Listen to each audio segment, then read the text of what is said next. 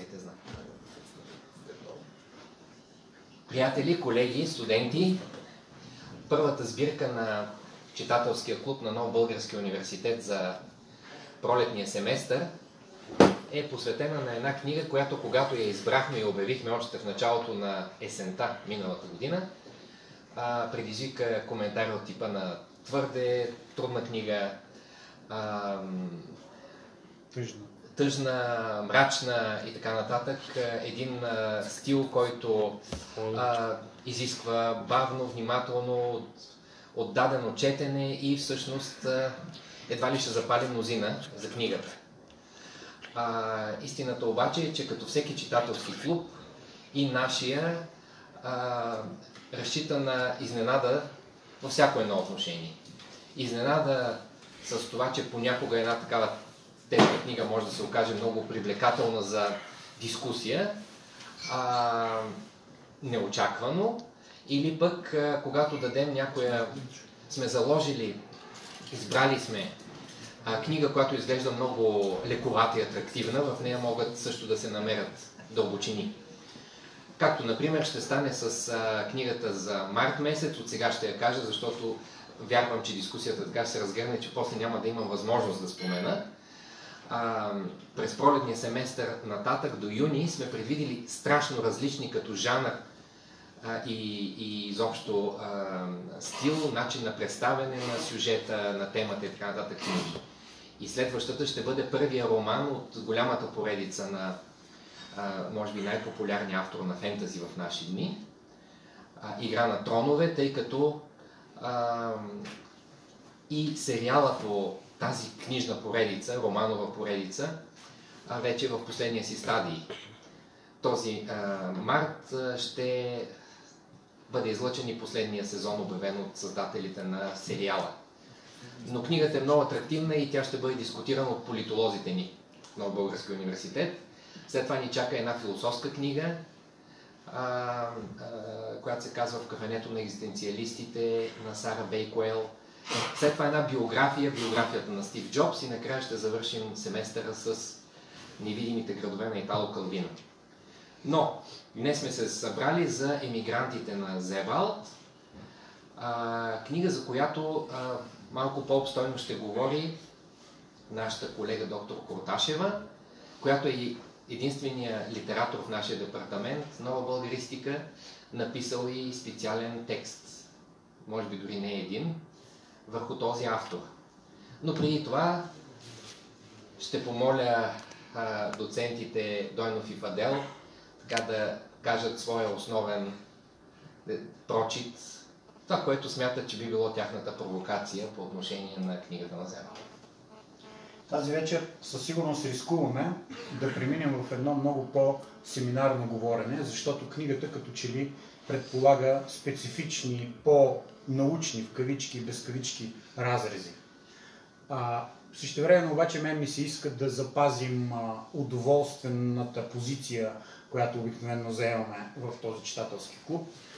И заради това а, ще, аз ще говоря само а, за удоволствието, което може да донесе четенето на Зебал, още повече, че когато си говорихме коя, коя точно книга негова да изберем, а, много, много хора от нас казаха защо не, не е Аустерлиц, ами защото не е по-тънка от емигрантите, отговаряха други.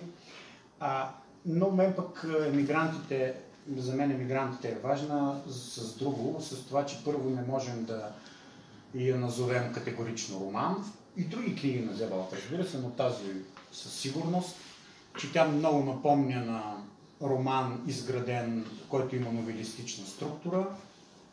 А, и нещо, което е още по-важно за мен, това, че м- тематизира невъзможността за бягството, невъзможността да избягаш от мястото, от което искаш да избягаш, за това, че емигрант, е, емигрантското или по-скоро, както се оказва, изгнанническото, всъщност е като че ли заложено в самото дълбоко човешко живеене. където и да избяга човек, носи със себе си паметта и като че ли не, мога, не може именно чрез паметта а, да избяга от мястото, т.е. паметта винаги го закотвя в едно друго, в пространството, от което е искал да избяга. Именно в този смисъл Зебал и особено емигрантите е една на пръв поглед, а може би и на втори поглед безнадежна проза или проза на безнадежността, безнадежността. И за мен, в, за мен в това има удоволствие. Тоест, за мен е много важно това, че, че Зебалт не може да бъде четен като оптимистичен автор, като автор, който, който дава надежда. Това, че не се дава надежда в неговите текстове, в повечето случаи за мен е качество. Именно това, този вид безмилостно писане, същевременно много и поетично, можем да кажем, писане, което хипотезира, прави от него автор, за което само можем да съжаляваме, че някак си толкова късно е открит и че сме живели толкова кратко с него. Наистина, Зебълт ни среща с една особено важна тема за мен. Това е темата за паметта. Многократно е правена връзка между Зебалт и Набоков и неговата, на темата на Набоков за мнемнозина, за невъзможността да се забравя, особено в други брегове. Тук някак е същото, не може да се избяга от паметта, не можем да избягаме от това, което сме. И аз тук напълно бих подкрепил доцент Тойнов, който открива именно удоволствие в тази невъзможност, удоволствие в тази крайност, в, която сме поставени като читатели. Въобще на литературата на 20 век, която е действително предизвикателна, крайна, носи в себе си това удоволствие. Удоволствието, че не можем да избягаме самите ние, от това, което четем, не можем да, не можем да го напуснем и, и виждаме тези безкрайно крайни неща, които преживяват самите герои. Мисля, че а, това, е, а, това е една от посоките, в които можем да мислим тази книга. Благодаря ви. А, основният ни дискутант днес е, както казах преди малко, доктор Корташева. А, споменахте няколко пъти думата удоволствие, само да кажа, че все пак а, това е доста рисковано нали, споменаването за удоволствие, която става дума и за такива мъчителни преживявания и за герои, които все пак става дума за четири различни истории, герои, които са на ръба да се откажат сами от живота и някои от тях го правят. Как, so, как да разкажеш, как да кажеш в едно изказване за четири истории, как да ги разкажеш, как да ги обобщиш? Биляна Корташева може би ще успее. Заповядай. Благодаря. А, да, много ми вдигнахте летвата. Ще си призная, че последно много се колебаех откъде а, да го започна. А, впрочем, много се радвам, че тук е и преводача на тази книга, господин Стоян Георов. Страхотно свършена работа и а, когато Пламен говори за удоволствието от четенето, според мен на български то наистина се случва. Не съм сигурна как е на немски. Може би всъщност е много трудно и на места по как да кажа, трудно проходимо. Ще кажа благодаря. Но а, а, ще използвам две ключови думи от а, казани преди малко от Пламен и от Морис. Едната беше безнадежност, а другата беше Набоков и ще карам в този ред. А, първо за а, това, че Зебалт е автор на опустошението на тоталната безнадежност не може по това да се спори. Това по някакъв начин е ясно. И заедно с това обаче, ако при него има надежда, тя е свързана с света на малкото и на природното. И по една случайност си бях приготвила, макар и за по-нататък, един цитат, който гласи Днес залагам всичките си надежди на дървоядите и на мишия род. Разбира се, това са очевидно надежди възлагани на тези най- как по-низови и деструктивни а, животински видове, обаче а, а, надеждите са тъкмо те да срутят една а, ужасна сграда на а, приют за душевно болни, а, в която всъщност а, умира в резултат на серия от електрошокове, доброволно подложил се на тях. А, третия а, герой от книгата. А, така че, може би, а,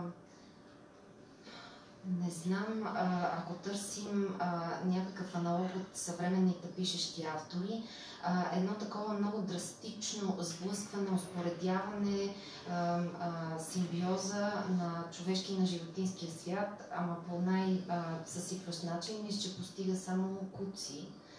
Сещам се примерно за позор и, и ритуалния начин, по който той носи а, труповете на кучетата в, а, към кучешкия а, няма да кажа крематориум, ама тая дума ми а, а, така че при, при Себалт, тъкмо вглеждането в малкото а, и, и а, разходките из природата, той е безкрайен перипатетик, това са едни перипатетически разказоесета. А, това е като че ли по-светлата страна на, а, на тези текстове и като че ли не е случайно, че в тях като някаква по-обетована земя а, присъства Швейцария. А, и то разбира се по два начина, като Швейцария на Алпите с планините си. Почти всички а, важни герои в тази книга са планинари и катерачи, а, а, но също така и с все пак със своята неутралност, с мястото, където може да се говори немски и да не се чувстваш толкова виновен за това и други такива неща, за които ще стане дума малко по-късно. И а, като казвам Швейцария, а, другата дума беше Набоков. А, значи, както във всеки от разказите, в един момент се стига до Швейцария, в спомен или в кратко пребиваване и, и това е някакъв светъл и епифанен такъв момент. А по същия начин във всеки един от разказите, съвсем така из никъде, а, изниква фигурата на ловецът на Пеперуди.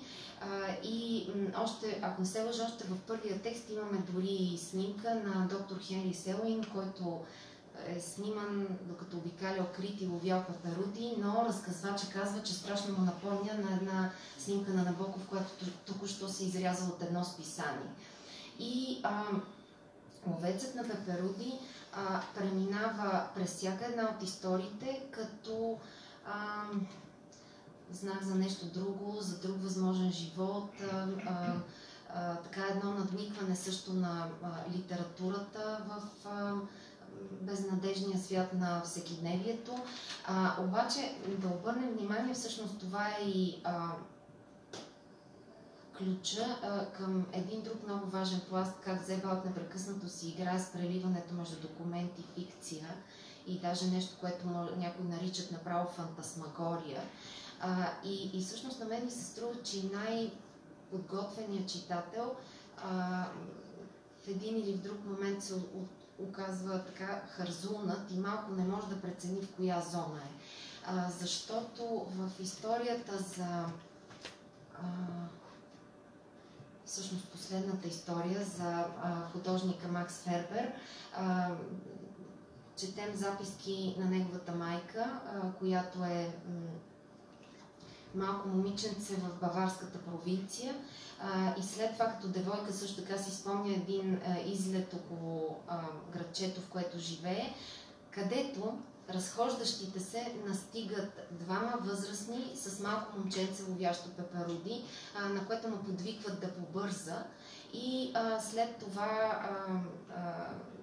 бащата на разказвачката в случая казва, че един от двамата мъже, така особено импозантен, бил а, самия Моронцев, председателя на първата руска дума. И този път реших, че ще проверя и проверих.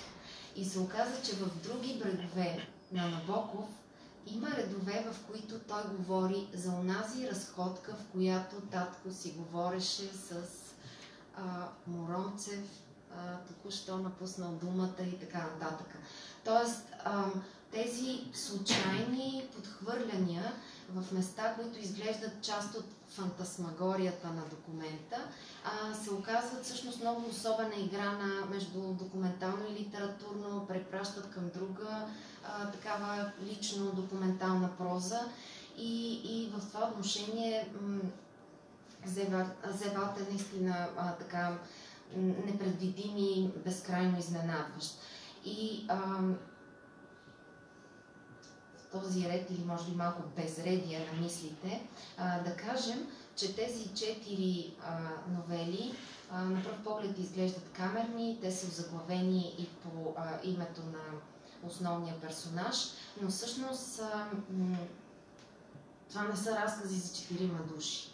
А, това са разкази за много повече хора. Аз съвсем бего така си позволих да, да извадя, да напомня а, някои от тези поредни, вмъкнати една в друга фигури. Значи, когато четем за Хенри Селуин, така, на пръв поглед перфектния английски джентълмен, който се оказва вътре в себе си, всъщност така, най-живата част от личността му е едно 7 годишно дете, което напуска Гродно при гонения антиеврейски и което остава по случайност в Англия, защото семейството се е запътило за Америка. Но човека, който живее най-силно в него е а, Йоханес Негели, един а, швейцарски алпийски планински водач, а, чиято смърт като че ли е а, а, по някакъв начин и смъртта на героя, който е продължил да живее по един малко празнен и не съвсем дослучен начин. А, след това а, учителя Пао Берайтер а, от своя страна, всъщност там той е вътрешната фигура, рамкирана от гласа на разказвача от една страна и гласа на мадам Ландау а, от друга, която е така негова късна спътница. А, Войчето по майчина линия Амброс Аделвард, това може би е един от най-сложните композиционно отношение текстове в книгата, е разказан отново от винаги рамкиращия разказвач, но през Леля Фини, през Войчето Казимир, през един възрастен психиатър, доктор Абрамски, а през самия Аделвард оживява един друг персонаж – Козмо Соломон, така а, ексцентричния, полудяващ и по-своему гениален и живеещ на ръба син на една голяма еврейска фамилия в а, на Штатите, а, на Лонг Айланд. А, и а, в последната новела а, художника Макс Фербер, който е открит от разказвача, при една случайна среща, бродена из перифериите на постиндустриален Манчестър. А, всъщност пък е рамка, за да стигнем до много проницателния разказ на неговата майка, която разказва за а, споменатото детство а, в а, Бавария, но всъщност разказа е писан в най-страшните години, 39-41, преди тя мъжа и да бъдат депортирани. А, така че всъщност имаме едно такова непрекъснато рамкиране, разказвач в разказвача в разказвача в разказвача. И а, това не е а, просто някаква не е стилистичен каприз, а е а, голямата принуда и голямото спасение на а, Зебалт като писател. А, защото веднага трябва да кажем, че неговото писане е писане за а, а, ужаса и дълга да си немец в днешно време. И а, той започва да пише своите текстове към края на 90-те, когато, значи някъде края на 90-те и вече началото на 21 век, говорим, че идва това време на а, а, края на свидетелите, всъщност отмирането на свидетелската епоха, когато говорим за спомена за Втората световна и за Холокост. И всъщност а, той трябва да намери писателски глас, който по някакъв начин едновременно, а говорим за интелектуален, за човек, който е университетски преподавател, изследовател и така нататък, който е много наясно къде стои. Значи, от едната страна е Дорно, който е казал след Аушвиц не може да се пише поезия, а от другата страна е масовата култура, която непрекъснато по най-различни начини използва тези сюжети, често мелодраматично, макар че според мен тук може да се спори, понякога и мелодрамите не са излишни и понякога може би една широка публика а, има нужда от мелодрамите, за да се връща към тия а, нали, чудовищни зони на паметта и на забравата. Но така за, момента го ставам скоби. А, и, и пак казвам, значи на него му трябва да намери някаква възможност за разказване, а, която удържа баланса между тези две крайности. И то, пак казвам, той е немец, а, син на а, офицер от а, армията, нали, на хитлеристската армия. А, а, разказват различни истории за това, защо фигурира като W. Зебалт, а не нали, винаги с това съкратено име. А, сега тук може да видим а, реверанс към английската традиция, към тия селия, да го щете, но заедно с това а, има една неприязан към тези прекалено германски имена. А, дори на първите страници на тази книга ще видим, когато се описва един а, неприятен интериор, един бюфет, а, ще се каже ми какво друго да кажем за него, освен че беше прекалено германски. Тоест, на някакви а, малки и наглед периферни места а, а, тази нагласа присъства и заедно с това отново а, а, дългът да си немец, да, да удържаш тази позиция, да помниш именно като като немец и да можеш да разкажеш всичко това, е нали, непосилната мисия. И даже аз бих казала, че, а да, само да довърша за съкръщаването на имената, да, Винфрид е прекалено банално, бюргерско, не знам какво, а, такова скучно немско име, което той някакси заскобява, съкръщава. А, и дори в Англия предпочита и му викат а, Макс Зебал. Но а, по отношение на а, дълга да удържиш немската перспектива, а, можем да видим дори самото заглавяване на този роман, защото той на немски предполага, може да си има съвсем интернационалната дума емигранти, а обаче не се казва така. А, той избира а, die Ausgewanderte, простете, т.е. избира немска дума за това иначе универсално а, понятие. И, и не знам, в нея като че ли се съдържа и някакъв елемент на залутаност, заскитаност, а, нещо такова, което пък също е важно в, а, а, в текстовете му.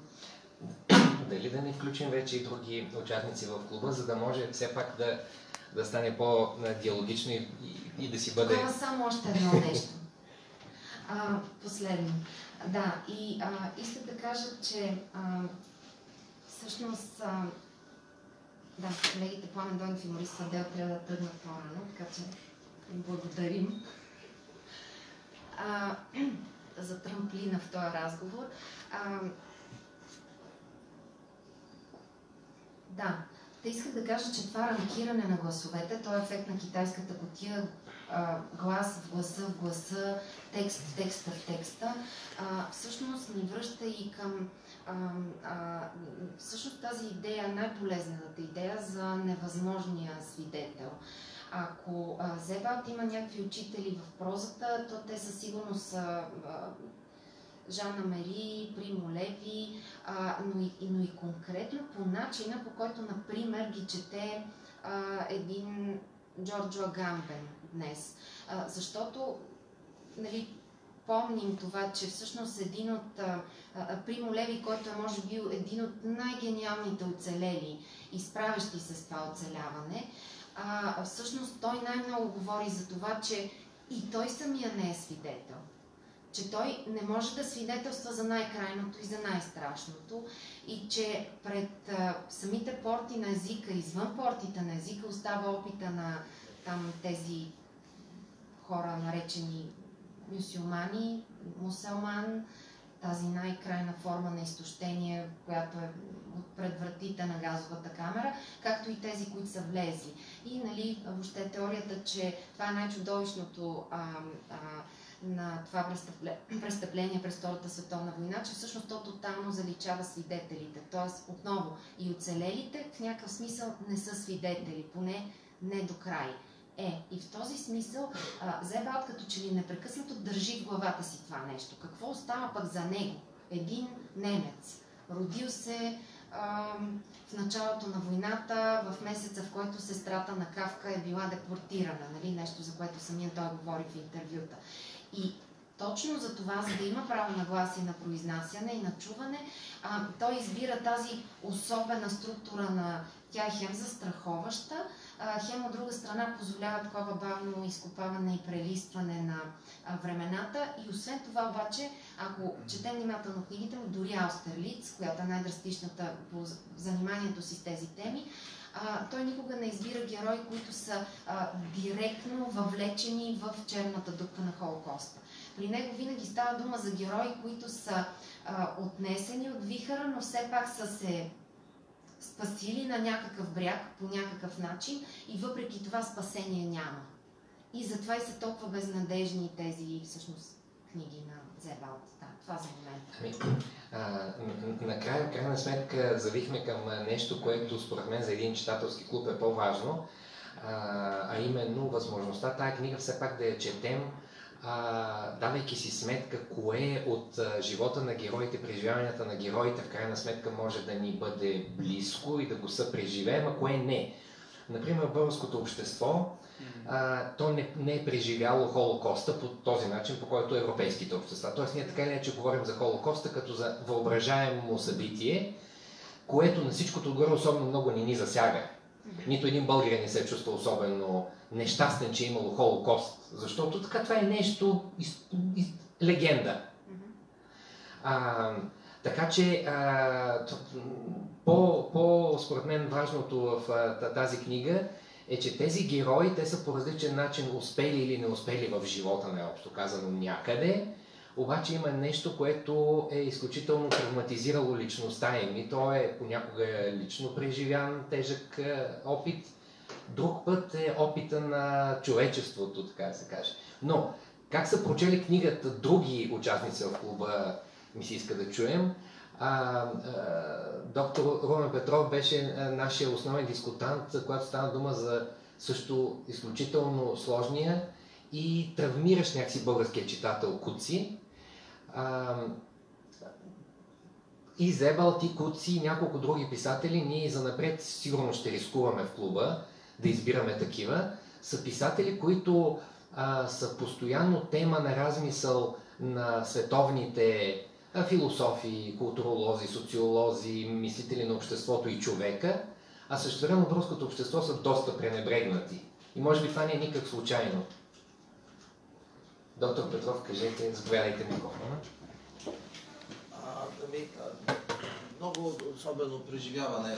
Отзад е самия, самия Вилфрид, който се появи изведнъж като дух.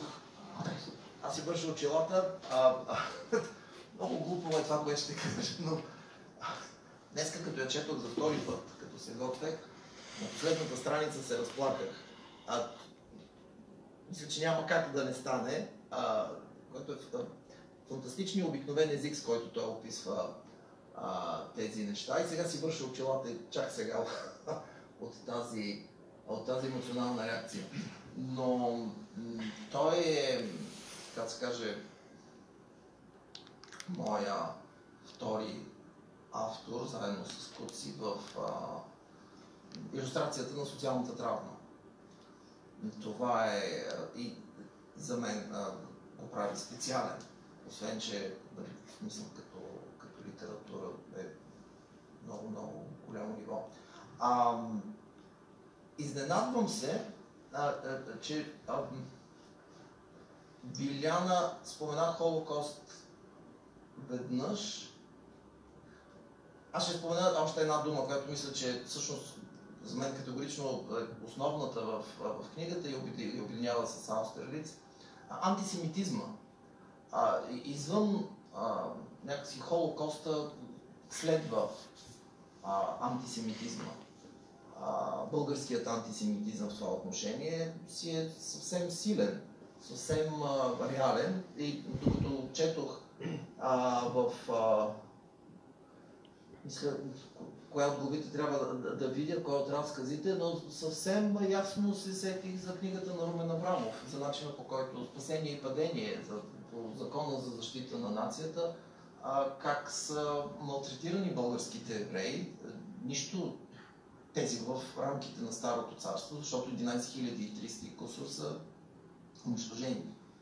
А, но как, как, са, как им е взето, как си имуществото им е изядено и как нашите прабаби, прадядовци, сигурно по нашите холове, стоят откраднати от български евреи и вещи, от нашия антиполитически антисемитизъм. В това отношение той е, е, фантастично говори ам, меко, което сигурно го прави още по-силно. Не е това непосилно четене, което за мен поне има като чета Примо Да, да той говори за, за мен поне за гражданство, за, за живеенето с, с антисемитизма, не, не само за разделът и унищожението. И другата, според мен, е много важна тема, която го свързва социално с... Мисля си, че Зигмунд Бауман би го, би го цитирал, би трябвало също да, да го разбере много добре. Той говори много за, за краха на модерността, един от които е а, антисемитизма и, и политически антисемитизъм и Холокоста с а, тази тема за, за хазарта, за опадък, за индустриалния опадък, от който следва се свързва с моралния опадък, за а, гетото като Манчестър, а, от което гето комай всички са унищожени, а, последните страници, в които е нали, отново великолепен. Извън на паметта и травматологията на паметта, което е сигурно важно, но ми се струва, че ще, за мен поне ще, може би други хора да иллюстрират а, други неща с него, но а мен много ме впечатли този ненатрапчив а, начин, по който той говори за, за тези неща, а, като със сигурност а, трагично засегнат и едновременно с това, как да кажа, това осиротяване, което е в известен степен морално осиротяване в резултат на, на това, което са преживели хората но, ето, например, ето, например, в българската литература темата съдбата на евреите през 20 век присъства, разбира се. Имаме Жел Вагенштайн с една трилогия, а, имаме книгите, романите на Лея Коен, но някакси те не могат да стоят редом с а, емигрантите на Зевалт, може би. А, защото и Вагенштайн и Коен не са толкова тъжни.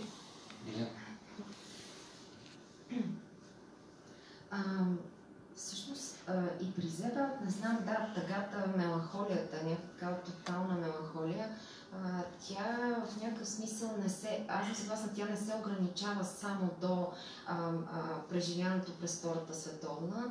А, някакси наистина а, целият този постиндустриален свят и, и, и цялото това рухване през Втората световна по особен начин са обединени. И, и, и това, че м- паметта и когато я има и когато я няма, дори тя не може да спаси, макар че е по-добре да я има.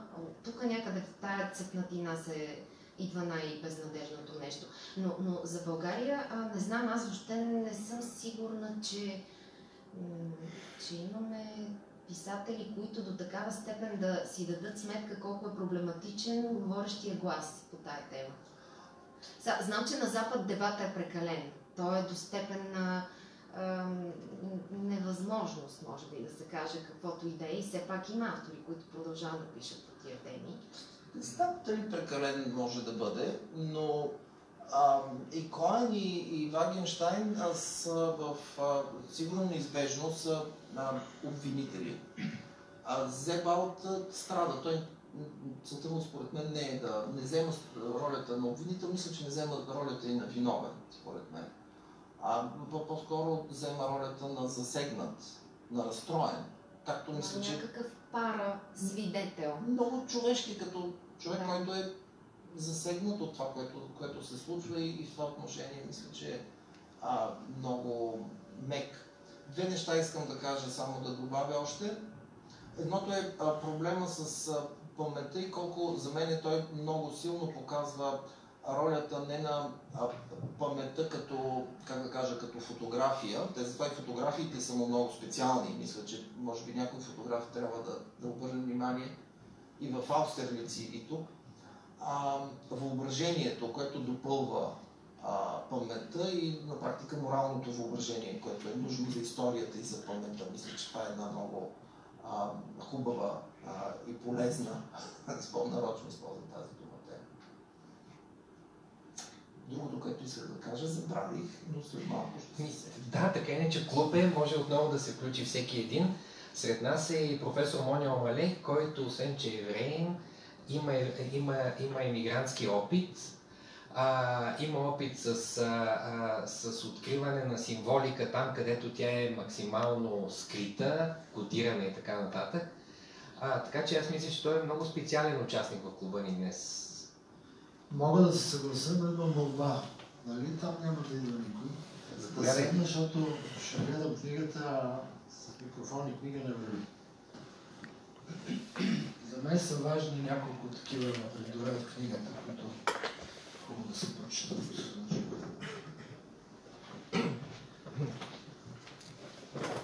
Първо, разбира се, искам да, искам да благодаря за тази покана. Действително, мигрантството, за разлика от други хора, аз съм го изживял на собствен гръб. И тук има колкото прилики, толкова и големи отлики с а, този немски писател и литератор. А, първо, че аз идвам от а, родина, която е спасила своите 50 хиляди, макар че останалите не, нямат тази съдба 11 хиляди и повече. Искам да напомня само като информация, че Богдан Филов е питан от Франция дали да, какво да прави с 600 или знам си колко евреи. И той казва, ми нас не ни интересуват български граждани. Всичките са в пещите. А, така че не е само редовия аскер, който е вадил зъбите в солно на немците, а и Богдан Филов участва в това, един блестящ археолог, какво му трябваше да се бута в цялата тази работа. А, сега, аз ще дам съвсем друга оптика към тази книга. А, ще ползваме и такива концентрични кръгове, като писателя или литератора. Какво, как би ми повлияла на мен лично тази книга, ако бях прочел като тинейджър?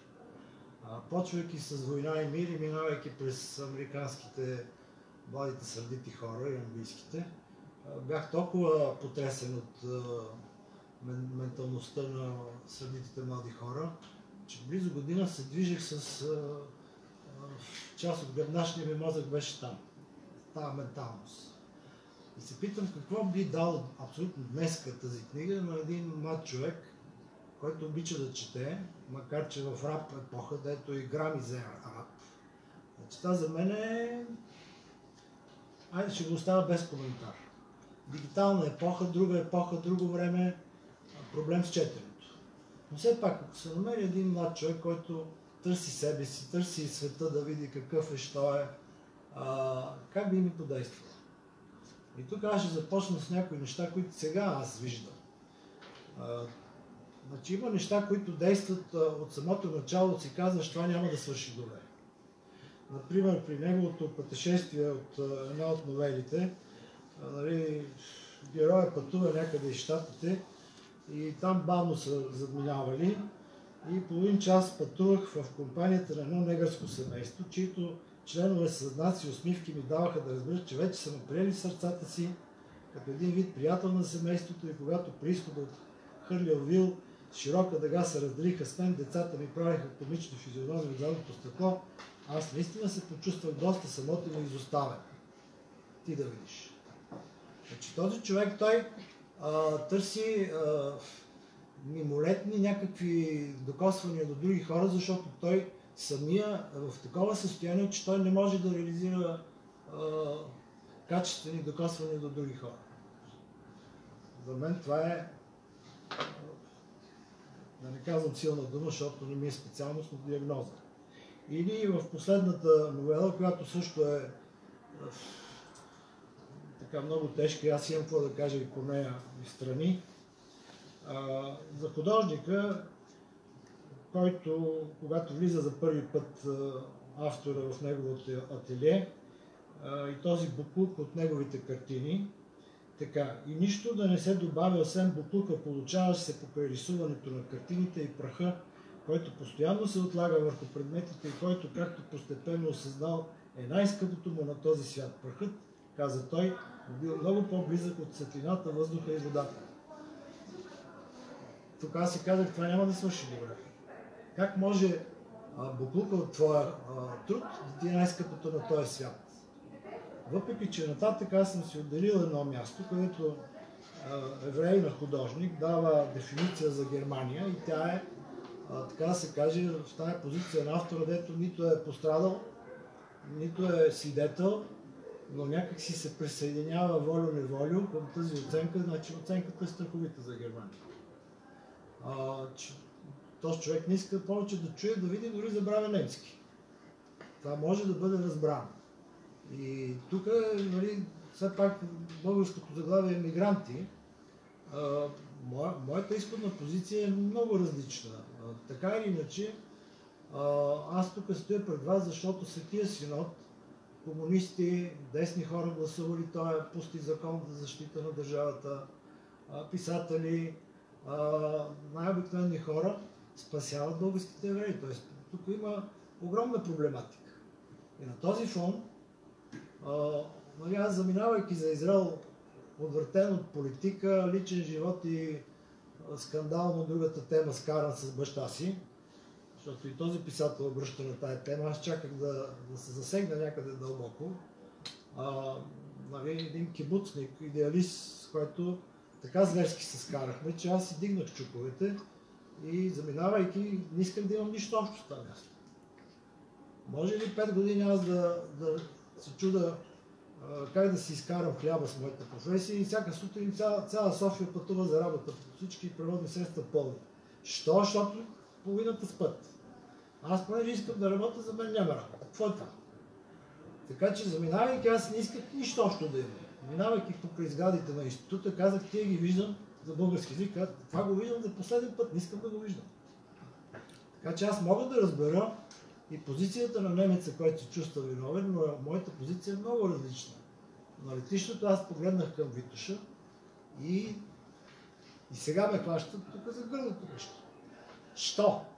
Защото знам, че има един Шабатай Бенцви, който е псевдо-месия и има един нещо като менеджер на там от Газа, който е бил София. Отишъл Следва там от газа по Балканите, но се знае, че той е бил тук. Това се знае от турските архиви. Се казвам, гледай сега, тази Витоша, дето съм ходил като безработен по времето на комунизма по поляните, а там от газа е гледал същото. И тогава това е носталгия. Това тук е нищо в сравнение с а, тая носталгия. Напускаш родината, отиваш в отечество. Корено различно. Значи тук има едно описание на а, Мъртво море, което а, може би е писателска измислица, може би наистина някакъв документ го има, но края на ноември, началото на декември а, не може да се вижда от, към, от към Иерусалимската страна, да се вижда от среща това, което е Моав, Йорданската част, нали, от другата страна на Мъртво море. Кристално ясно. Значи, това са абсурдно е. Тоест тук има фантасмагория. Това е другото нещо, което е много близко и много добре го познавам. А, тъй като работих в университета в Иерусалим и живях а, повече от две години там. А, по това време имате един период от средата на октомври до средата на ноември, който се нарича времето на Хамсин. Хамсин това е вятър от пустинята, който трябва 50 дена. След което над тази част, цялата обетованата земя, падат едни ниски сиви облаци. И тогава действително има и хора, които влизат в депресия както знам от приятели, роднини, колеги, психолози в Израел. Не може да се вижда от среща Йордания или Муав. След това има едни прескоци, които аз пак чета като един а, свеж млад организъм и си казвам как това ще подейства на един млад човек. Освен като пътеводител за различни пътища за самоубийство. Ужасяващо е наред с цялото уважение към един литератор, който е изградил една литературна тъкан блестяща. Нали? А, бих казал, че той а, се насочва като личност към еврейството не само с чувство за вина, а от чувство за интерес и просто това е един страхотен хуманист. Проблема е, че той освоил част от логореята, филмовата логорея е на идеална, само че няма никакви тия шеги. На моменти викам, добре, да какво става сега? А, така че а, а, Значи, отивайки в това място, аз виждам и тук едни моменти, които а, просто действат разрушително. Да кажем, хубаво, ти си емигрант от Германия, в Англия има ни пътешествия, граждани си на света в някакъв смисъл. Но аз тук имам едни бележки а, за изборяването чисто структурално погледнато на географски такива названия, които действат разрушително на, на, на, на читателя. Тоест ти оставаш в безтегловност, което сигурно е търсен ефект, предполагам, от един литератор, опитен и знаещ и можеш. Според мен това е търсен ефект, но според мен ефекта е, тук доктор Петров ще каже какво е. Значи, от Шарл де Гол до Вил, след Лас Вегас Атлантик Сити, Виена, Будапешта, Макао, японците ги връщали обратно в Токио. А, обаче така и след това следват още, нали, все още сме във Франция някъде, също Англия, дето е разположено. А, значи след градовете има едно нещо, което ме хвърля назад във времето. Текстът че. И веднъж отиваме пак в Манчестър. Значи това прескачане в... А, а, за това имате на следващата страница дамата в купето пуши бразилска пора. Изведнъж отиваме в Южна Америка. Значи това са системи структурално работещи на езиковото и културното подсъзнание на читателя. Ти оставаш безтегловност, която може би и той така се чувства като, като немец в а, своето битие след, след фашистска Германия. Може би. Ето две теми, според мен, не знам, може да, да, да, да го приемете като простителско, но а, две теми, които според мен по някакъв начин се зададоха от а, коментара на професор Мале. Едната е за нещото, което понякога се нарича катарзис, т.е. така се каже, творбата по някакъв начин ние се преживяваме и какво се случва с нас и съответно, съответно дали, дали въпрос, дали иммигрантите на Зебалт няма да предизвика много читатели това, което са предизвикали някои трагедии, обратен ефект. Тоест отиват атиняните да гледат трагедията и целта на трагедията е те в крайна сметка да се а, и, и да излязат с патриотично настроение, готови да се борят за родината си, а всъщност те излизат отчаяни от, а, от това, че а, персите, враговете като цяло са много силни и са извършили страхотни злодейства и, и всъщност излизат с униние. Може би това е някаква тема. Другата е темата за това дали тези иммигранти все пак, въпреки че мисля, че от тези, които говориха преди мен стана ясно, че нито един от тези иммигранти не може да се сравни с сегашните български млади иммигранти и кандидат-иммигранти, но все пак има нещо в това желание да отидеш някъде, да избягаш от родители, происход, родина и така нататък, за да намериш щастието по някакъв начин. Дали все пак има такава връзка или, или просто не съществува. Но Румен Петров наистина иска това. Каза родина и искам да задам една гатанка от. А, много съм на тази тема за родината напоследък. А, играем на загадки, както и, и на, играем и на загадки, както, като трябва да отгаднем, например, кои са трите неща, които дават и вземат всичко. Йорданен, ти знаеш ли кои са? А, учителят Байн триумфално обявява Земята, морето и райхът. Или земята, морето и родината. А, мисля, че по отношение на национализма, той, който си е, така да се каже, травма без да е необходимо да, да бъде толкова изобличена и себе изобличаваща се, той няма иллюзии в това отношение. Ние нямаме, а, въпреки че имаме Вагенштайн и Коен, нямаме нашите автори, които са себе критични към нашия национализъм в това отношение той ми се струва изключително полезен. А сега за национализма исках да, да реагирам. После ще се включа пак. Може да добавя да завърши всъщност. Значи, мигранта в Израел, защото тук има разлика от родината и отиваш в отечество. Значи, това, тоест, моето положение е много различно от това на автора, разбира се, по всички много линии. А, но опасностите на войната, в която живее държавата Израел, откакто е създадена, са довели до точно това, което ти спомена за обратния ефект. Значи хората като цяло, макар че има много травмирани млади хора от казармата излизат по защото се страхуват две години да минат от един ядър на другия.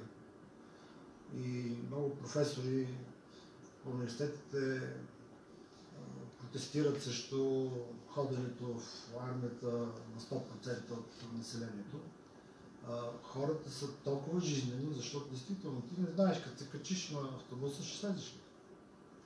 Тоест, има една исторична жизненост, която е реакция на, на казуса, че няма Египет, няма Европа, няма Билибиджан, дето искаше Сталин да праща евреите. Това е дето ти отредено, ти трябва да, да оцелееш там. А колкото за свидетели или не, тези, които са оцелели и те в някакъв смисъл не са свидетели, аз не мога да се съглася с това, защото познавам такива хора. Кажем, на първия ми връчет тъща му светла и памет, тя унгарска еврейка с номер тук. И когато аз отидох там 92 началото, точно беше Садам Хюсин, успял да хвърли две-три ракети да стигнат до Израел. Тази жена влезе в депресия, от страх, че той ще, както се говореше, че слага газ в тези ракети, и не излезе докато почива. Значи, самия факт, това и за околните, показва, че свидетел, който всъщност не е свидетел, е едно много абстрактно понятие. Тоест, тук в книгата за мен проблема е че няма това, разбира се, слава Богу, литературата е различна и трябва да бъде всеки автор различен от другия, но пак питам, ако един човек до гимназиален курс прочете този текст, какво той ще попие от този текст, съзнателно и подсъзнателно. Нали, в моя случай аз една година преди да трябва да я чета, прочета война и мир, всички ме гледаха като куку, нали? но целият ми живот е осмислен от една фраза на Балконски, който гледа войниците, дето аскера с феодалните крепостни селени се къпат в едно езерце, нали, като вратчета на пролет на лъква, казва Толстой. А не знае, че утре са пушечно месо отива да ги трепат. Значи, това е нещо, което аз и се е забило в цялото същество. Има войни, има конфликти, религиозни, имперски, всеки. За кого ти ходиш да се биеш, да умираш? Мога да го разбера самоубийството само в случая с ябълка. Само начинът ти да да, както и Неделчев го е обяснявал. Значи, няма тук само любовна драма. Има катастрофа на, на националния идеал. Това самоубийство го разбира. Другите не могат да ги разбират.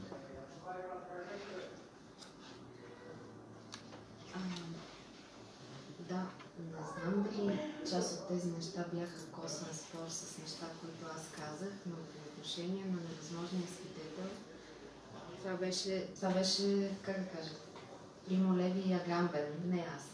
А, макар, че ми се струва много важна теза. А, но а, да, две неща всъщност исках да кажа. Първо, че а, наистина не, не съм сигурна за, и никой от нас вероятно не знае всичко това за а, гледките от Иерусалим и така нататък.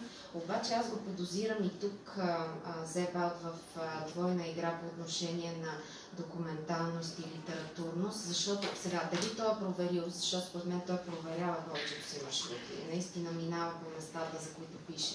И това е вкарано и в тъканта на историите му. А, нали, той отива и намира градчето, в което е живяла майката на художника и така нататък. Това е част от хватката. Това е Германия, не е но, Да, не, не, но друго исках да кажа, а, че цялата тази най-вътрешната история в а, Аделвард в историята на а, Войчето по майчина линия, с а, тяхното пътешествие с Козмо Соломон, всичко това май отпраща, но признавам си, не съм проверила, а, към а, една друга голяма и важна книга, по-късно открита и нашумяла по това време, а, пътеписа на Патрик Ли Фърмър, а, който всъщност, не знам, знаете ли тази история, но той като младеж пеша преминава от Англия цяла Европа до Светите земи и забравих до къде стига. А, и, минава през България, точно така, и това къде беше втория или третия том, не знам. А, и, и всъщност а, а, вижда Европа точно 12-13 година, непосредствено преди Първата световна война, преди тя да се превърне в руини за първи път. И затова е толкова важна, затова е толкова важен този текст. Та, а не е случайно, че а, Аделвард и Козмо Соломон 13-та година са в Истанбул и те минават този път точно, ма почти сигурно по стъпките на Патрик Ли Фърмър. И даже за момент си помислих да не би тук пък да има и а, друга подсказка в тази а, посока, че в началото а, Даже в немското издание на книгата художника се казва Ауербах, доколкото си спомням, и след това е променен на Фърбър, да, което се римува с фърмър по особен начин и ни дава знак в тази посока. Макар, че това са две различни новели в случая. Макар, че латинското майче корена не е ли точно художник, рисуване, цвят, Като да, Фабер. Да, Хом Фабер Майстор, да. Възможно е и това да му е а, а, другата подсказка, но да, а между другото, много се радвам, че а, Мония Малех избра и прочете точно този цитат за отпадъка от рисуването и начина по който това също е картина и даже може би е по-важната творба. Според мен той по някакъв начин тук прави, нали, това му е мега метафора и за собственото му писане, и за останките от живота и така нататък. Но и това е важно, че точно тази история има реален прототип, английски художник, изключително важен, на който наистина техниката му е такава. Той нанася доста боя, штрихира лицето, след което изтъргва абсолютно всичко, почти до нараняване на повърхността на платното и повтаря това 40-50 пъти, колкото може да издържи носителя. И накрая от наслагванията от тези штрихирани лица, в крайна сметка се остава картината. Английски го правиш по-лесно.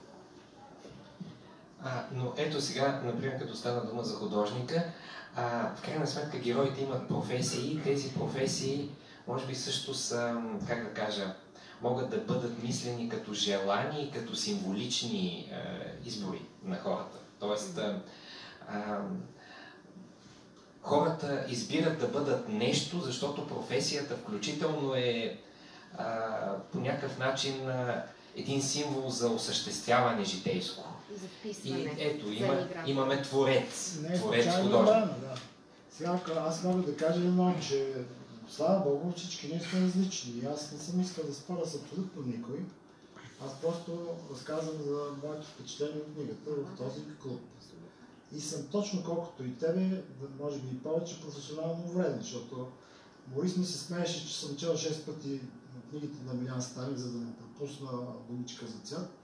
Но аз съм много доволен, че съм го направил. Първо, у мен се роди идеята за компютри, които да работят, да свършат тази работа, което се оказа невъзможно. По начина по който аз го чета и второ, това е едно училище за кристален, диамантно, златен български язик. Така че всеки има вкусове и гледни точки. Искам да добавя още едно нещо по повод на Манчестър и на Иерусалим описанието. Безспорно, то съдържа някои реалистични неща, защото аз а, улица, защото тя е улица всъщност, булевард Яфо, го познавам прекрасно. А, нямам съмнение, че по време на а, последните гърчове на Османската империя, там е имало екарисажи и цялата тая гадост, след която следват а, прекрасно казано, всякакви благотворителни християнски, мусулмански, еврейски учреждения. В едното съжителство с другото. След което Великата UK, тогава Великобритания, взима мандата и там има няколко къщи, деца са малко по-прилични на същите тия места. Ако вие днес отидете, ще видите нещо съвсем различно. Един френски тип трамвай като Страсбург, нали, дълъг, който е пълен, с- пълен с редови пешаци, които пътуват и се ръгат нали, до Стария град. А, колкото до описанието, което аз искам ти ми напомнеш, значи той казва там Содом, Гомор, а, а, а, а, Адам ли как, значи това са били бедуински селища, ако имало въобще. А, значи там има една мараня такава, дето се носи над обетованата земя, която има колкото документални неща, толкова има добавени неща. Но да се върнем на географските названия. Значи ти да отидеш от Иерусалим, там дето гледа към долината на Йордан и Мъртво море, и изведнъж да говориш за а, а, как се казваше столицата на Сирия, не Багдад, а Дамаск. Значи ти да пропътуваш дори душевно и в, а, от Иерусалим до Дамаск, е, че то от времето на Соломон е проблем. Значи самия факт ти да минеш от тук до Дамаск, там то точно е Муав. Абсурдно е ти да минеш е така на чик-чак. Значи това е преход в две различни а, световни места. А, в този смисъл, поне лично за мен, нали, има едни такива бързи ракурски, ракурси от Франция, къде беше Лас Вегас и казиното в Франция и, да, и на третия ден обратно в Токио, плюс бразилската пура във влака. Значи това са едни линии, според мен, таланта тук на литература дава, дава отражение, но това са едни линии, които тотално деструктивират чувството за, за някакъв ред в читателя. Тоест чисто структурално погледно. Включително и това пътуване от так от Иерусалим ти виждаш, почти виждаш Дамаск. Ама ти влизаш в две не седми в две тикви на пепеляшка различни. Едната синя, другата червена. Значи много различни неща. Пак казвам, аз не искам никого да спора, просто споделям неща, които мисля, че не са никак значение. А че ти имаш професионален поглед на литератор, никой не спори. Ти изтъкна някои много важни неща, с които аз съм напълно съгласен. Това е което имах да кажа, сядам си. Не, не. Защо? А, така се каже, спорът е първа предстои, той е за много неща.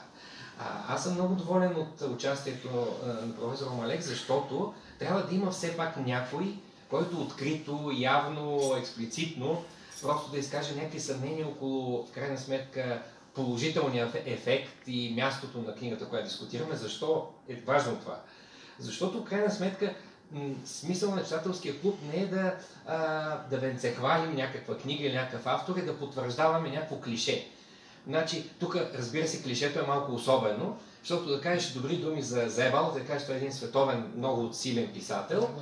А, от една страна няма спор по отношение, така сказать, на световните а, ценности, на някакви западни ценности все пак, а от, друга, а от друга страна е, по някакъв начин то не е смело, но е по някакъв начин а, самотно в България, защото повечето българи не са чували, не споделят и така, и няма и да ни повярват.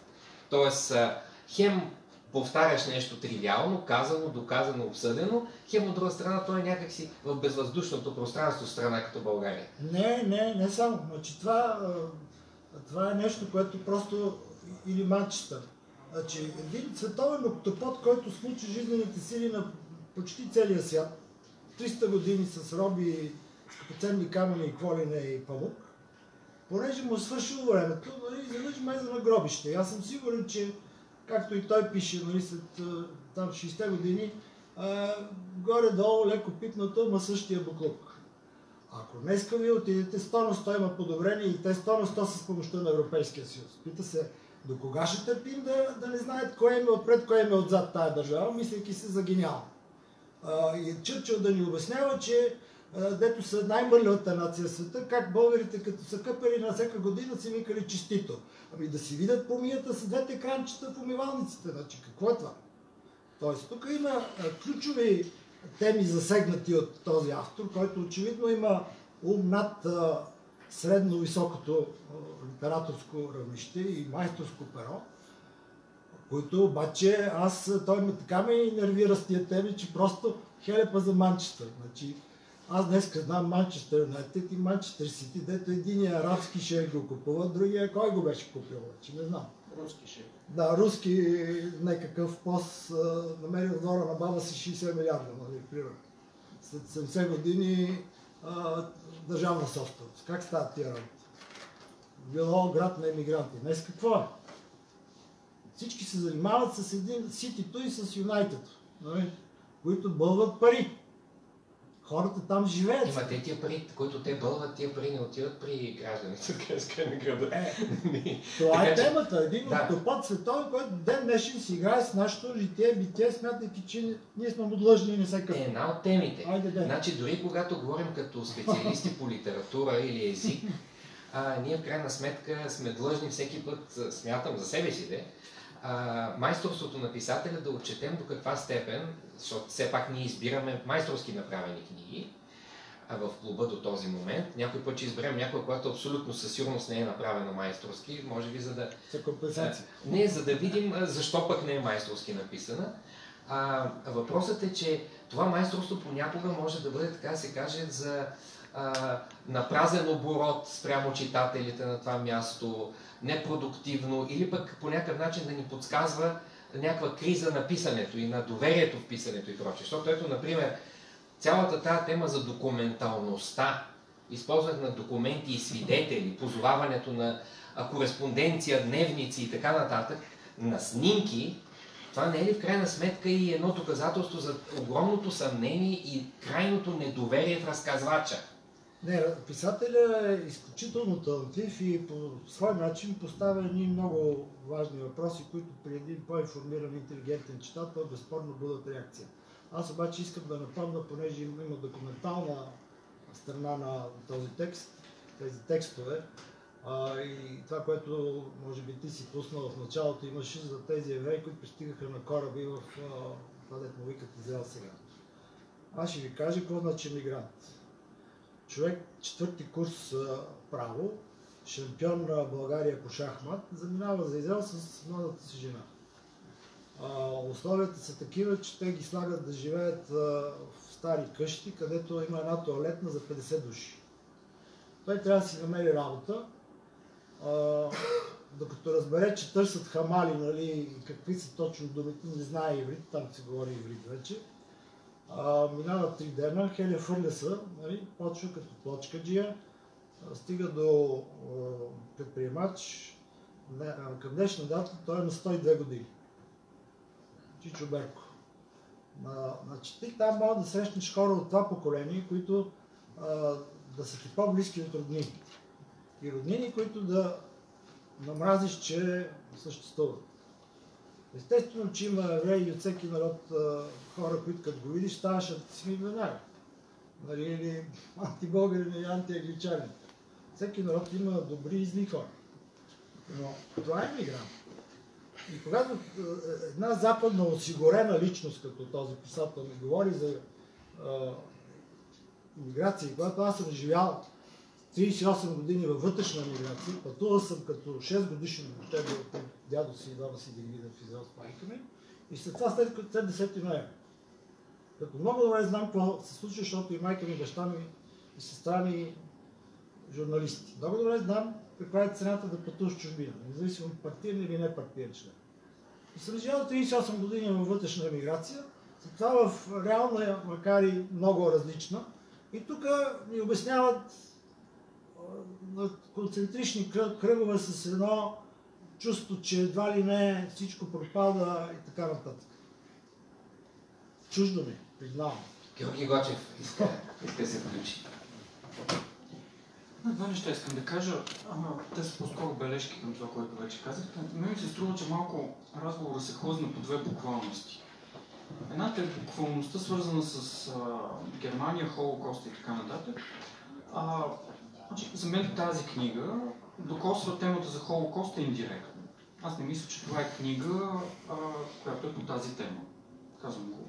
Да, да, така е, точно Мисля, че по-скоро интерпретациите се опитват да намерят, а, така се каже, да обранчат тази книга с темата за Холокоста, но аз вътре не мисля, че това е директно, директно заявено. Другото е по темата за емиграцията. А, сега, ние като кажем емиграция си представяме как хората се местят от една държава в друга. За мен обаче тук става въпрос за една малко по-сложна емиграция. Наистина аз реагирам на това, което прекрасно каза Мони Омалех. Аз мисля, че става въпрос за пренасене от една държава в друга за една по-сложна емиграция във времето. Че това не са емигранти, които живеят в друга държава, това са хора, според мен, които живеят в друго време. Те са не в епохата си, а не а, не в държавата си. Тоест проблема е, че по-скоро ти не можеш да се отъждествиш с а, това време, в което се намираш, с, тази негова, а, с, тази негова, с тези негови ритми, а не, че си в някакво място, където и да отидат тези герои, те биха се чувствали по един и същ начин. А, и тази, тази емиграция във времето, тя е, тя е много сложна за описание. И тук, тук Румен може по-добре да каже с какви травми, с какви травми тя е свързана. А, аз през цялото време си мислех следното нещо. Ние онзи ден наградихме в конкурса за българска драматургия. Наградихме една пиеса, която индиректно засяга темата за горяните. Пиесата е написана от 25-6 годишен автор. И моят първи въпрос, когато обсъждахме това и към него беше, добре, как един 25 годишен човек се свързва с такава тема и как пише емоционално по тази тема, при положение, че ти няма как да имаш пряк контакт с, с това нещо. Е, същото си мисля и тук. Как, как този автор, който според мен няма пряк контакт с, въпреки тази биографична връзка с бащата, който е бил от хилядейската армия, как така се свързва с тази тема за Холокоста и това нещо. И в един момент почвам да си мисля за така наречените въобразени, въобразени събития. Ти си правиш връзка с нещо, което всъщност, с което всъщност нямаш връзка. Защо я правиш тази връзка? Много, много особена книга. Аз чувствам крайно объркан това, което, което мога да кажа за нея. Много особено. Рум- Румен Петров Може би А, аз- Диляна- и Ди- дори Диляна Кортажева. Една секунда. Да, благодаря ти, Румен. А, да, не знам дали непременно винаги става дума за време. Мястото също е важно, но исках да кажа до някъде, подкрепяйки до някъде това, което каза а, Георги Гочев, че всъщност, ако внимателно погледнем героите в тази книга, най-трагично емигрантско усещане за живота има тази жена, която се е преместила от едно градче в съседно градче. Майката на, а, а, на художника от последната история. И това за нея е тотална травма. Тя с това преместване губи детството, идеалния свят на младостта, всичко и някакси вече описано е много ясно как живота започва да се затваря и да се канализира. От момента обаче, в който тя се е преместила сигурно на 20 км, ако и толкова има. А, така че това наистина е, вече тук Румен ще каже, много особена а, психологическа категория и състояние и, и кой колко страда и кой колко е мигрант е а, да, голям въпрос. А, а после, след като Румен а, каже, а, ще да питам много интересно тук колегите какво са намерили и какво показват, но понеже имаше според мен откази от а, този филм на Сергей Лазница, който се казва Австралиц, може би трябва да кажем една дума за това. Аз искам, а, тук гледам какво пише на френското издание за, за разрушението, една от неговите книги. И виждам, че Гюме Мотер, значи Емигранти е първа. Мисля, че е хубаво да, да кажем, че а, нали, книгата ще придобие друг смисъл в контекста на нещата, които, другите заглавия, които излизат. А, Аустерлиц идва няколко години след това, като продължение на, например, на темата не само за паметта, но и на детските, детският ешалон, децата, които са спасени, родителите остават. Имаме та, такава тема в един от разказите. И малко по-късно идва разрушението като елемент на, на естествената история, което е според мен е великолепно трагично заглавие. Той говори за бомбардировките в Германия, не само а, по време на, на войната. И е, предпоследната му книга е сега как ще, това е превод от, от немски, но французите са го превели La description du malheur. А за малър дали е нещастие, дали е страдание, изглежда и двете. И това е една много сериозна тема. Как описваме а, страданието? Един от, и, и ние имаме проблеми винаги с това да описваме страданието. Един от, това е връзката и социалната травма. Той го адресира много директно. Това, когато описва много кротко, а, например, а, по някакъв начин просто се стигна до съгласие, че към края на живота си тя не е била съвсем наред в главата. Единствен Войчо Лео, братът близнак на майка ми, с когото след траурната церемония и погребението в края на юли 36-та заминахме за Бат Кисинген, за, Бат Кисинген за Вюртбург, си позволяваше понякога открито да говори за така нареченото състояние на нещата.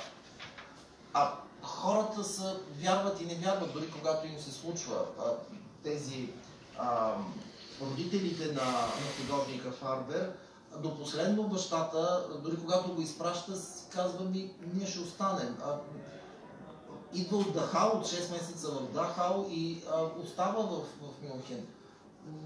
Има едно действително страховито замръзване и объркване какво да направя, когато злото се случи. Тоест, когато злото удари, не сме непременно рационални, даже не, не, не ни е много ясно и какво ни боли.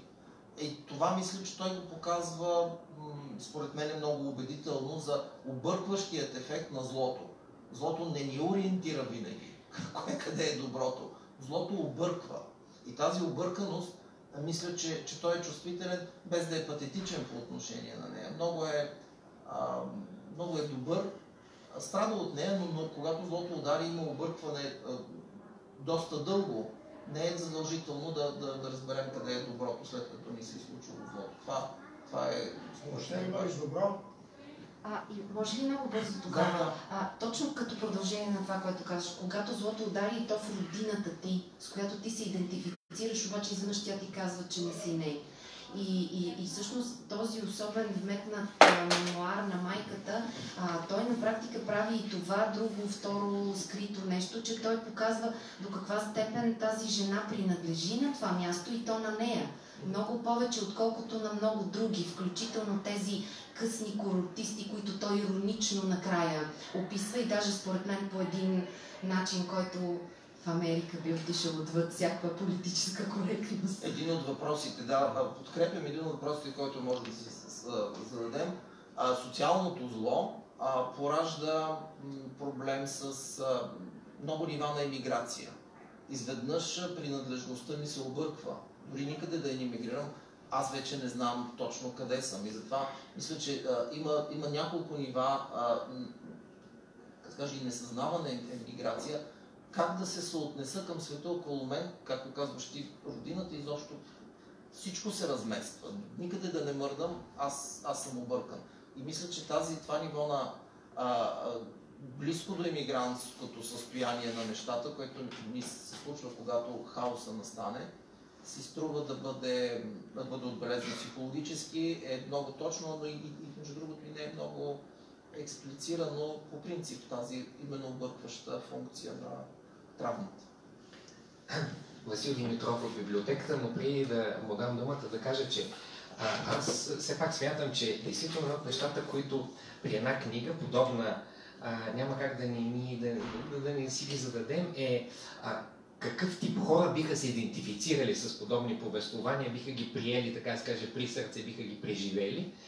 И, а, и си мислех, понеже става дума за Великобритания в коментарите на професора Омале, ето, например, този Брекзит. В момента, той се преживява от някаква част от англичаните, най-общо казвам жителите на, на този остров, а, се преживява тежко, те са в някакво колебание и в а, а, тревожност и така нататък, но има немалко, които са на позиция, че Брекзит е нещо ужасно и са сигурни, че е ужасно, както има такива, които са сигурни, че Брексит е спасение а, и са абсолютно убедени в това. Тоест, а, все пак по-голямата част от хората ми се струва, от жителите на нашата планета, от човечеството като цяло, са наясно с доброто и злото и не се тревожат особено много. Една подобна книга ще им бъде много чужда. Знаят кое е правилно, кое е добро, какво е доброто на тяхната нация а, и така нататък. И да, има книги, да това казва, че, че няма спасение, няма изход всъщност. Васил Димитров, Само едно изречение, това, което мисля за книгата, съм го написал на сайта на читателския клуб. Книга, да ще позволем. Благодаря. Най-ценното за мен в книгата беше, че емиграцията всъщност е един повод, една разгърната обобщена метафора за съдбата на човека изобщо. Това е една екзистенциална кат- категория, като съответно историческия бекграунд, социокултурния на самия Зевел, това, това бягство от неговото име, това отчуждаване от, а, а, от а, родината, която го отчуждава на свой ред. Та- Тази амбивалентна е, диалектика е само една база, една опорна точка. Така че именно заради това тези герои се самоубиват. Имаше един филм на големия чилийски режисьор 83-та година Трита кроша на моряка Раул Руис, когато един моряк тръгва на, на пътешествие и през цялото време иска да се върне, но след това се оказва, че няма къде. Че неговия дом, че неговата родина всъщност е е нещо, което е част от самия него, но понякога не, не, е, не е съществувало. Така че учението и меланхолията лично за мен бяха най- най-ценното нещо в тази книга. Всъщност от тук има два, два изхода. Ако няма нещо, което да те трансцендира, нещо, нещо отвъдно, а в книгата до голяма степен а, това отсъствие максималното му, му присъствие по някакъв начин и обратното. Но ако няма това нещо, самоубийство ми се вижда така най- най-реални изход и за мен това е книга не толкова за емиграцията, не толкова за, за съдбата на немските евреи и на германците през 20 века. Това е една много лична книга. Това е когато един герой чрез, много, чрез историята на своя род, чрез историята на своята родина и на своите сънародници също говори за себе си. И комплименти за мен лично това беше най-силната книга, откакто присъствам в Челския клуб. Комплименти и за, и за превода за първ път не ме, не ме спъна нищо в него. В много други книги някакси казаха бе как този човек как го е превел нали, и така нататък, но наистина много силен превод. Благодаря ви.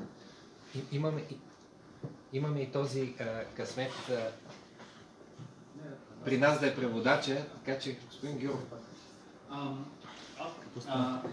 Аз съм а, съгласен с това, което каза господина, с това обобщение за тая екзистенциална, би казал, антропологическа, космическа мъка и безпокойство и напрежение, което го има в нас. За мен също това е основната тема на, на книгата. Просто заглавието, самото заглавие, емигрантите а, подвежда. Това е един общо технически, журналистически термин. Едно място си отиваш на друго, ти си емигрант. И аз съм бил емигрант, и аз го знам. А, макар, че не съм страдал слава от това. А, немското заглавие е много интересно. А, а, Ausgewandert Глагол е Auswanderer означава изселник. Той обаче не казва die Auswanderer, изселниците, казва die Ausgewanderten. Това не знам нарече ли как се нарича. Причастие. Причастие. Причастие. Die Ausgewanderten. А, сегашно влиятелно. Моля? Ако е сегашно влиятелно, значи няма край. Не, die Ausgewanderten на български е изсели, изсели, изселилите се. Значи минало. Което, което, което не става за заглавие на книга на български. Това е, да, да, да. Това е, това е ясно. Но какво искам да каже този човек с това? Но той според мен е съзнателно а, а, бяга от думата, от този термин а, емигрантите.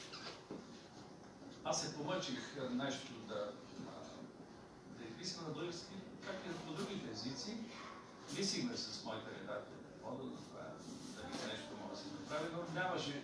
Изселниците на български има едно звучение, малко там, дори и това село, което се прочува там, се долавя вътре и това не е добро.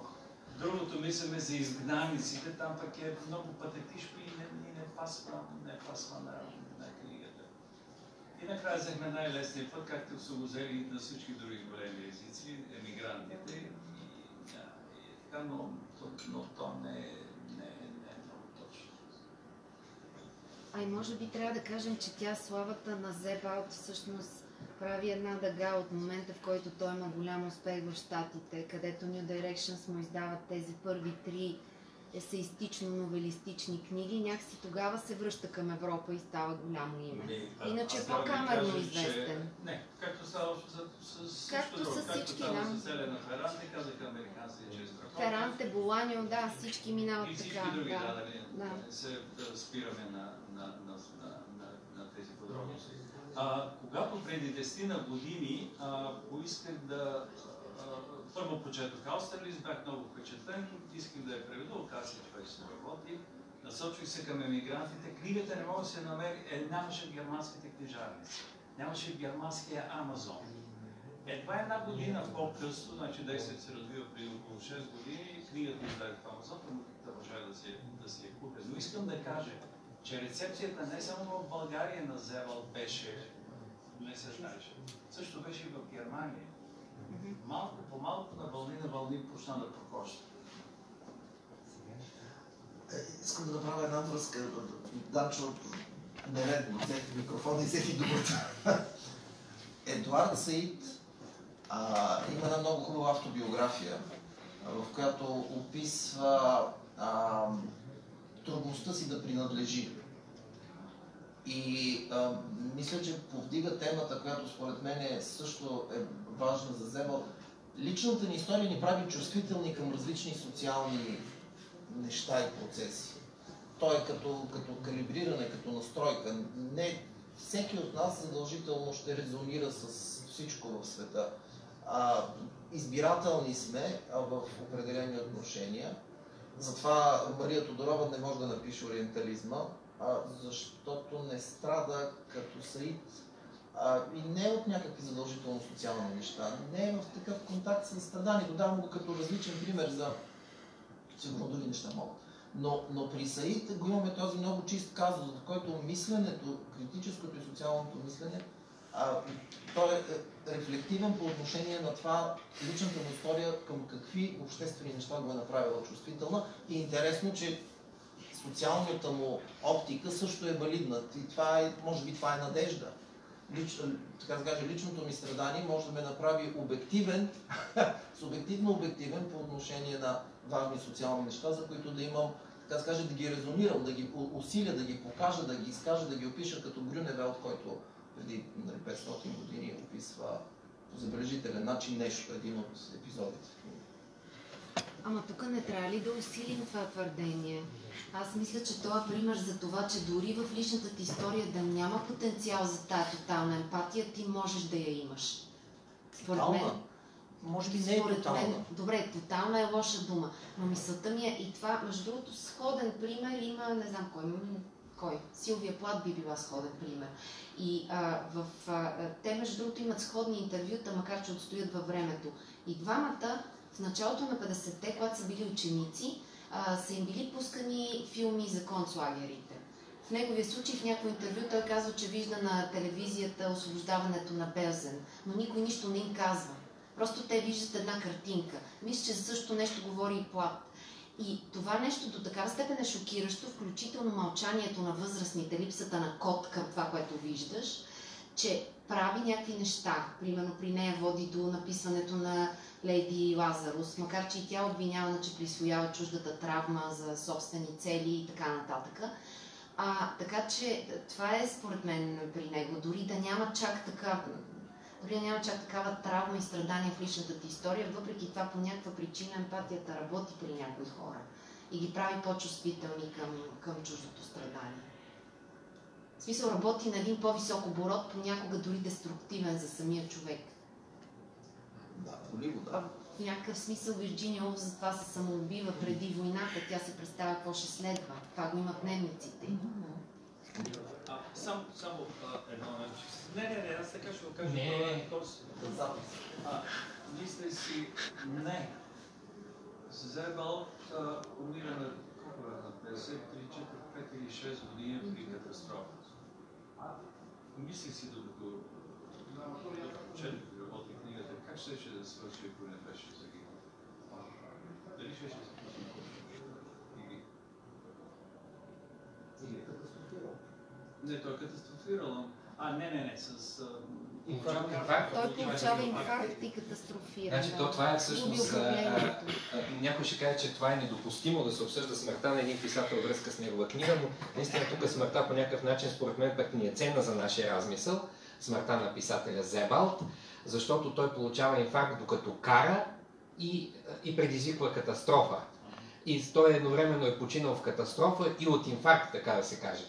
А това по някакъв начин е важно според мен за коментар на книгата, защото едно такова съмнение в, как да кажа, в чертите на едно събитие, сюжетно събитие, случка, история, така да се каже, винаги, винаги съществува у достатъчно внимателния разказвач, какъвто е Зевалт.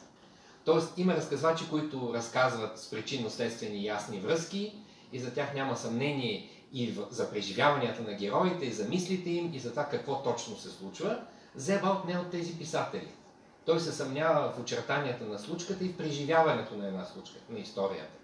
И в този смисъл е толкова важен за съвременната литература и голям автор. Но разбира се, това пък го превръща за нетренираните читатели, за невъзпитаните читатели и така нататък в такава голяма трудност, че те не посягат към него. А, аз лично в този клуб винаги участвам в ролята, така сказать, на потенциално по-глупавия а, човек, защото участник, защото аз имам някакви травми, свързани с начинът, който аз съм интерпретирал литературата. Например, когато преди повече от 15 години бях поканен да напиша помагало учебно помощна литература, помагало за деветокласници в антична литература и там вмъкнах един малък размисъл, според мен много нормален и така разбираем за деветокласниците, върху една творба на Еврипит. целият този пасаж беше абсолютно изхвърлен от издателството, защото там ставаше дума за самоубийството на един младеж, който е заподозрян от баща си, че той е наклеветен от, от, от, от, втората си майка, от мащеката си, че, че, така се каже, се е влюбил в нея, има посегателство към нея. Всъщност точно обратното. Федра, майката е влюбена в този...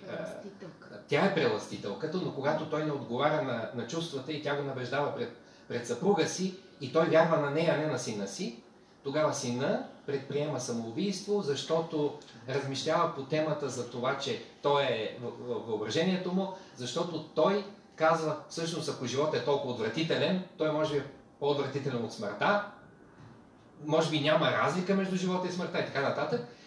И имах някакъв бегал размисъл върху това, защо тази тема е развита от е, този важен античен автор и така нататък. Всичко това се изхвърля, защото ми казаха, засягайки темата за самоубийството, всички деветокласници ще помислят, че ти го рекламираш. Данчо, трябваше да сложиш едно. Мисля, че тук изхода беше да сложиш едно изречение. Йосиф му постъпва така, става везир.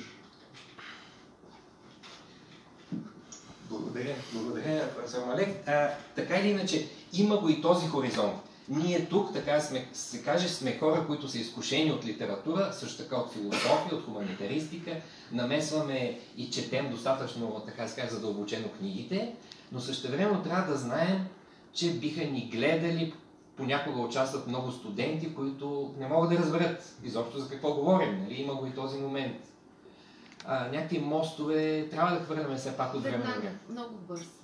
Тази книга ни показва масовото есеизиране на най-авангардната и важна съвременна литература. Есето е на власт и, и, и, и трябва да продължава да се преподава. А рапа? Рапа отделно, но наистина и, и Буаньо, и Зебалт, и, и много дори Куци, и не само, те са пример за есеизирането на романа много мощното есеизиране на романа и не е случайно, че тъпчем главите на всички студенти в първи курс по разписане на есе. Ами, а, благодаря много а, за участието в а, днешното издание, днешната сбирка на читателския клуб. Радвам се, че имаше и, и, и, и такова мнение на един от редовните ни участници, а, Васил Димитров, който каза, че това за него е най-добрата книга, която сме обсъждали а че имаше и такива, а, които критикуваха една или друга страна на книгата и възможността да бъде разбрана тази страна. Защото всъщност за мен и това е все пак е проблем.